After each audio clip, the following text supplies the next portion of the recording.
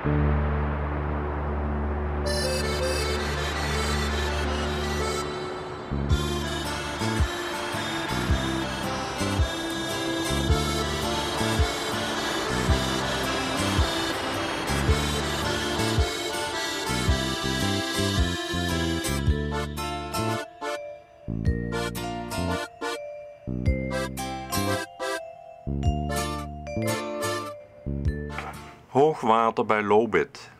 De Rijkswaterstaat meet de waterstand bij Lobit. Waarom meten we deze standen? Je hebt deze informatie onder andere nodig voor de scheepvaart. Als de waterstanden te laag worden, zoals in oktober en november in 2018, dan kunnen de schepen minder vracht meenemen of ze lopen het risico vast te lopen. En bij hoge waterstanden wordt de doorvaarhoogte van de bruggen kleiner.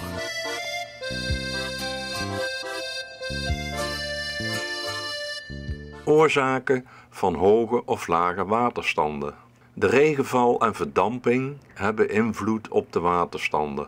In het geval van Lobit heeft de regenval in Duitsland en Zwitserland effect op de waterstanden daar.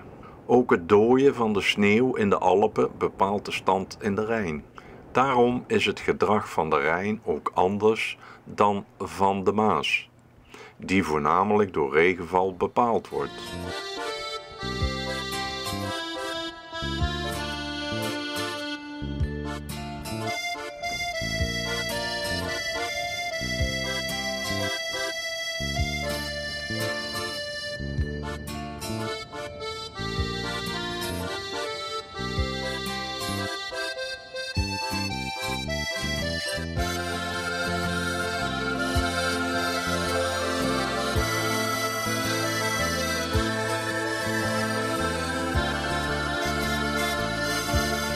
De laagste waterstand bij Lobit ooit gemeten was op 30 oktober 2018.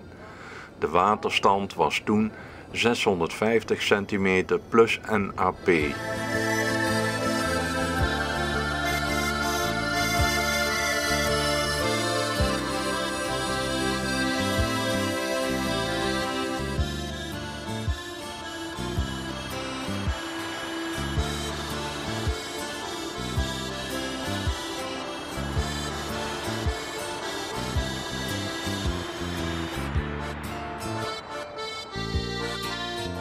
Maatregelen tegen lage waterstanden.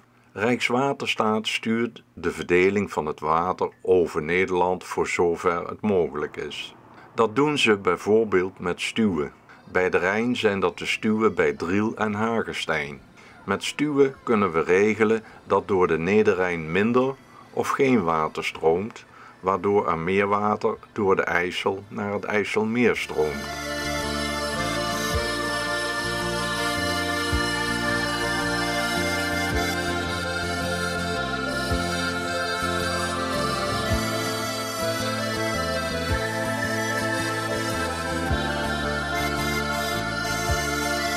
Wat de waterstanden in de toekomst zullen zijn, is natuurlijk koffiedik kijken. Het is klimaatafhankelijk en de verwachting is dat extremen groter worden.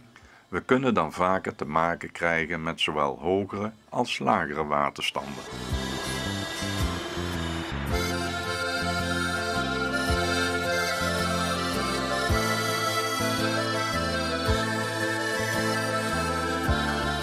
Op vrijdag 7 februari was de waterstand plus 1348 centimeter NAP. De hoogste waterstand verwachtte men op zaterdag en die zou uitkomen op 1373 centimeter boven NAP.